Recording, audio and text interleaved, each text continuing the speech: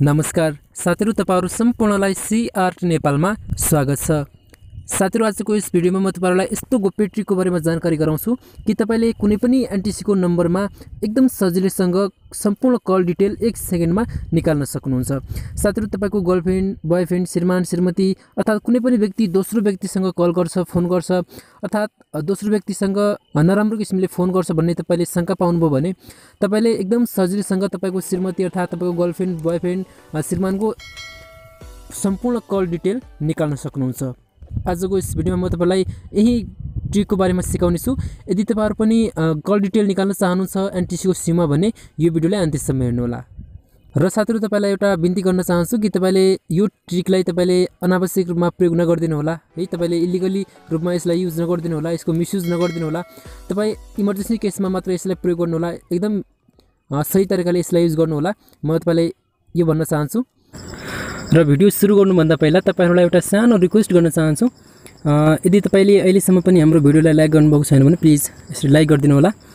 र यस्तै यस्तै जानकारीको लागि हाम्रो यस च्यानललाई सब्सक्राइब गरी छुमेरीको बेल आइकनमा क्लिक गरेर अल नोटिफिकेसनमा क्लिक गर्न चाहिँ नबिर्सिनु होला। ओके साथीहरू यदि गरिसकेपछि तपाईँले तल जानु होला यहाँनिर एड कमेन्टमा क्लिक गरेर यहाँनिर तपाईँले तपाईँले भिडियो जस्तो लाग्यो त्यस्तै लेखेर सेन्ड गर्न चाहिँ नबिर्सिनु होला।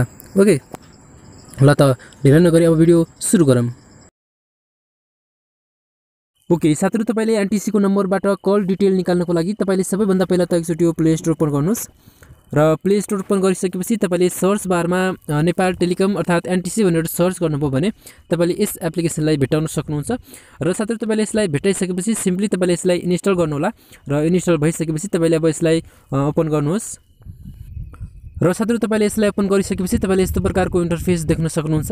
यदि तपाईँले पहिला नै अकाउन्ट बनाउनु भएको थियो भने तपाईँले यहाँनिर मोबाइल नम्बर र पासवर्ड राखेर यसलाई लगइन गर्नुपर्ने हुन्छ।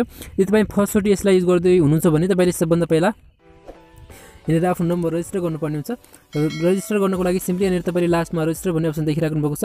यो रजिस्टरमा यसरी क्लिक गर्नु होला र यसमा क्लिक गरिसके यहाँनिर तपाईँले नेम राख्नु होला यहाँनिर लास्ट नेम त्यसपछि तपाईँले आफ्नो इमेल एड्रेस राख्नु होला र त्यस र त्यसपछि तपाईँले कुन नम्बरको कल डिटेल निकाल्न चाहनुहुन्छ यहाँनिर तपाईँले त्यो नम्बर राख्नुपर्ने हुन्छ। र त्यसपछि तपाईँले एउटा पासवर्ड क्रिएट गरिदिनुहोस्। र त्यसपछि साथीहरू यहाँनिर तपाईँले तल गएर यहाँनिर त्यसपछि तपाईँले कुनै एउटा डेट अफ बर्थ राखिदिनु होला। र त्यसपछि यहाँनिर तपाईँले जेन्डर चुज गर्नु होला। र त्यसपछि यहाँनिर आई एग्री भन्ने अप्सन छ यसमा टिकमा लगाएर यसमा तपाईँले रेजिस्टर गरिदिनु होला। रजिस्टर गरिसकेपछि तपाईँको जुन नम्बरमा तपाईँले यसमा राख्नुभएको छ त्यो नम्बरमा एउटा ओटिपी कोड जान्छ।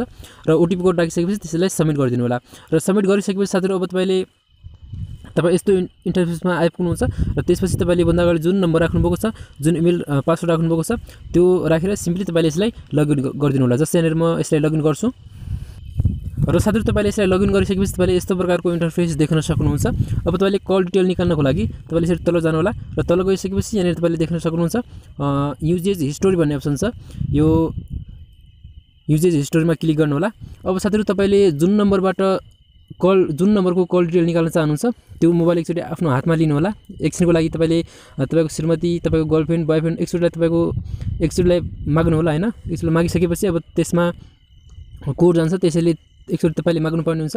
अब तपाईँले देख्न सक्नुहुन्छ यसमा तपाईँले भोइस भोइस डिटेल पनि निकाल्न सक्नुहुन्छ त्यसपछि एसएमएस डिटेल त्यसपछि डाटा डिटेल त्यसपछि प्याकको प्याकेजको डिटेल पनि निकाल्न सक्नुहुन्छ। साथै यसमा ध्यान दिनुपर्ने कुरा के छ भने तपाईँले भोइस डिटेल निकाल्नको लागि तपाईँले पाँच दिनसम्मको मात्र डिटेल निकाल्न सक्नुहुन्छ। पाँच दिनभन्दा धेरै यसमा निकाल्न सक्नुहुन्न। अब तपाईँले यहाँनिर भोइस निकाल्नु एसएमएस निकाल्नको लागि एसएमएसमा क्लिक गर्नुहोस् डाटा निकाल्नको लागि डाटामा क्लिक गर्नुहोस् त्यसपछि प्याकेजको निकाल्न निकाल्नको लागि प्याकेजमा क्लिक गर्नुहोस्। जस्तै यहाँनिर तपाईँले भोइसको निकाल्न चाहनुहुन्छ भने यो भोइसमा क्लिक गर्नु होला र त्यसपछि यहाँबाट तपाईँले डेट चुज गर्नु होला कति दिनको निकाल्न चाहनुहुन्छ। जस्तै यहाँनिर पाँच दिनको निकाल्न चाहनुहुन्छ भने पाँच दिनमा क्लिक गर्नु होला र त्यसपछि यहाँनिर तपाईँले सब्मिट भन्ने अप्सन देखिराख्नु भएको छ। यो यसरी सब्मिटमा क्लिक गरिदिनुहोस्। र सब्मिटमा क्लिक गरिसकेपछि साथीहरू तपाईँको त्यो नम्बरमा तपाईँले जुन नम्बरको कल हिस्टोरी निकाल्न चाहनुहुन्छ त्यो नम्बरमा एउटा ओटिपी कोड जान्छ। त्यो ओटिपी कोड तपाईँले यसमा राख्नुपर्ने हुन्छ। त्यहाँनिर मलाई एउटा ओटिपी कोड आएको छ। एघार। र साथै तपाईँले यसरी ओटिपी कोड राखिसकेपछि यहाँनिर भ्यालिडेट ओटिपी भन्ने अप्सन छ। यसमा क्लिक गरिदिनुहोस्। यसमा क्लिक गरिसकेपछि अब तपाईँले यसमा सजिलैसँग देख्न सक्नुहुन्छ।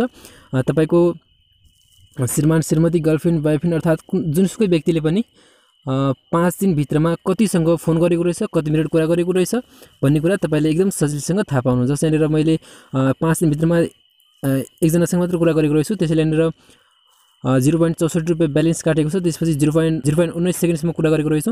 यहाँ तपाईँले टाइम देख्न सक्नुहुन्छ। हरेक कुरा तपाईँले यसरी देख्न सक्नुहुन्छ। ओके साथै तपाईँले यस्तै किसिमले कुनै पनि व्यक्तिको कल डिटेल एनटिसीको नम्बरबाट एकदम सजिलैसँग निकाल्न सक्नुहुन्छ। आई होप तपाईँलाई भिडियो मन पऱ्यो होला। मन पऱ्यो भने प्लिज लाइक गरिदिनुहोस्। र यस्तै यस्तै जानकारीको लागि हाम्रो यस च्यानललाई सब्सक्राइब गरी छेउको बेल आइकन पनि अल गरिदिनुहोस्। हस् त आजलाई यति नै। अर्को भिडियोमा भेटौँला। धन्यवाद। जय नेपाल।